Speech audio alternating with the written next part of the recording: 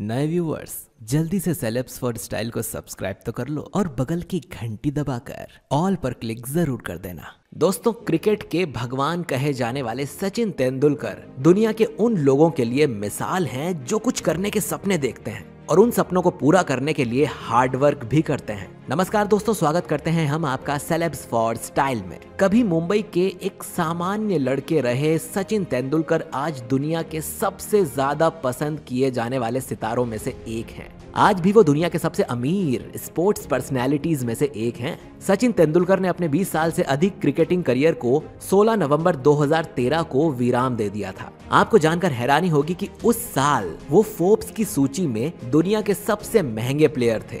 उन्होंने कमाई के मामले में दुनिया के सभी खिलाड़ियों को पीछे छोड़ दिया था। मौजूदा समय में भले ही विराट कोहली भारत के सबसे अमीर खिलाड़ी क्यों ना हो, लेकिन संपत्ति के मामले में सचिन तेंदुलकर आज भी टॉप पर काबिज हैं। आज सचिन तेंदुलकर की संपत्ति अरबों में है। सचिन का बांद्रा में एक आलिशान बंगला है, जिसकी कीमत आज के हिसाब से करीब 100 करोड़ रुपए है। उन्होंने ये बंगला 2007 में 40 करोड़ रुपए में खरीदा था।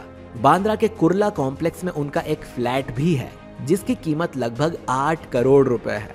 इसके अलावा सचिन के पास केरल में एक वाटर फेसिंग घर भी है। इसकी कीमत करीब 80 करोड़ रुपए बताई जाती है। सचिन कई नामी ब्रांड्स का विज्ञापन भी करते हैं। साथ ही उनके गैराज में कई सारी महँगी कार्स भी हैं। सचिन के कार कलेक्शन में बी एमडब्ल्यू मर्सिडीज और पोर्श जैसी कई लग्जरी गाड़ियाँ हैं।